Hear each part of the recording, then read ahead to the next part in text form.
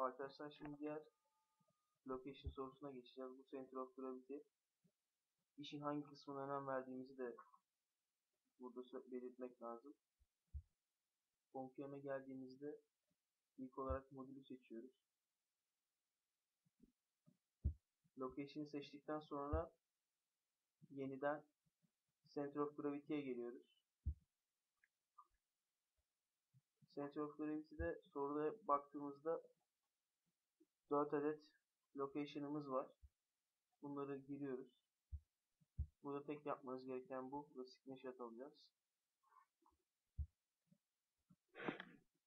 Daha sonra ağırlıklarımızı girmemiz gerekiyor. Bu soruda zaten belirtecek. 75, 105, 135 ve 60. Bunları girelim.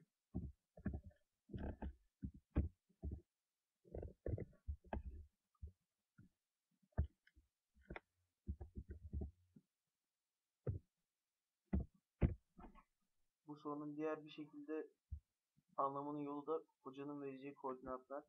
Bu soru genellikle koordinatlardan oluşuyor.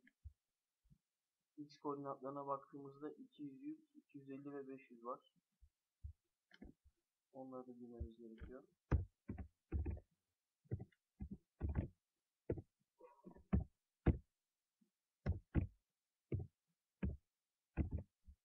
Daha sonra yine Y koordinatlarını giriyoruz. 200, 500, 600 ve 360.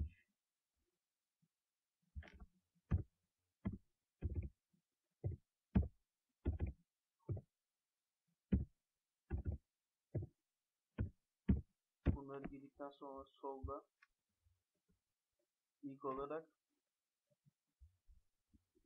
location resultlarımızı bulacağız. Total average, weighted average and median. Daha sonra bunun screenshot'ını aldıktan sonra distance, distance table'dan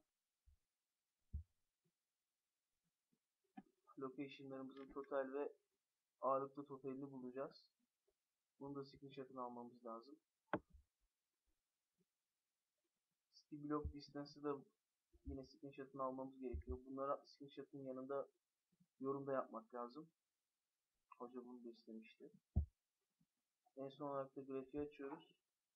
Grafikte yine bir screenshot alacağız ve altına yine yorum yapacağız. Center'ımız ve ağırlıklı merkezimizi de belirteceğiz. Bu kadar arkadaşlar. Umarım yardımcı olmuştur sizin için. Kaba taslak anlatmaya çalıştık.